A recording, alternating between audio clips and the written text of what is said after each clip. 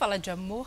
Ah, o amor está no ar. Durante as 12 edições da Fazenda, muitos casais se formaram durante o jogo, né? Só que poucos conseguiram resistir ao confinamento da vida real. É o mais difícil, né? Esse ano, três namoros já estão aí rolando entre os peões. Alguns acreditam que essas uniões são para fortalecer o participante no jogo. É possível, uma estratégia. Estratégia. Né? Bom, mas e os que seguem firmes no jogo e depois na vida real? Vão felizes e até aumentam as famílias. A temporada não chegou nem na metade e o Cupido já flechou seis participantes de A Fazenda.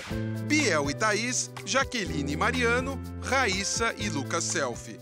O convívio intenso e com tantas tarefas, jogos, desafios, pressão, estresse, acaba fazendo mesmo com que uh, algumas pessoas se juntem, né? Até para se fortalecerem. Dos três casais formados durante o reality show, Mariano e Jaque dão mais sinais de romantismo.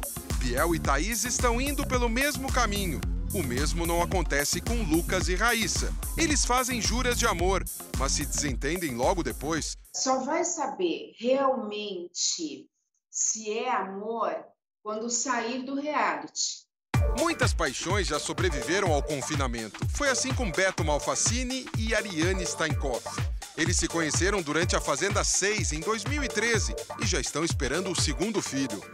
Li Martins e JP Mantovani começaram a namorar dois anos depois. Casaram e se tornaram pais da Antônia, de três anos. Em 2017 foi a vez de Flávia Viana e Marcelo Zangrande se juntarem no reality show. Este ano eles comemoraram a chegada do primeiro herdeiro, o Gabriel, nascido um mês e meio atrás. Na última edição, ano passado, foi a vez dos atores Sabrina Paiva e Rodrigo Pavanello. Entrei na Fazenda, hoje eu tenho a certeza, a convicção que pra, só para conhecer a, a, Sabrina. A gente recebeu muita mensagem do tipo, não vai durar um mês, logo vocês vão terminar. Mas eles não se desgrudaram mais desde que saíram da Fazenda em dezembro do ano passado.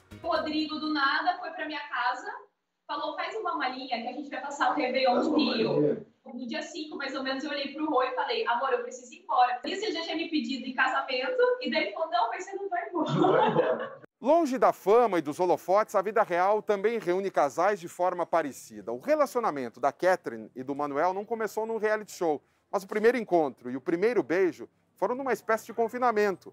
Um fim de semana numa chácara onde ela comemorou o aniversário.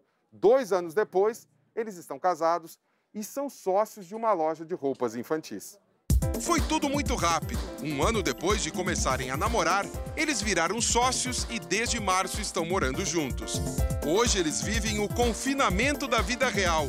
Das 24 horas do dia, só não estão juntos durante 4 horas, com uma vantagem em relação ao reality show. Aqui a gente, se a gente tem alguma, algum atrito, alguma confusão, eu vou ali na rua, vou conversar com alguém. Lá não, né? Eles não têm esse espaço.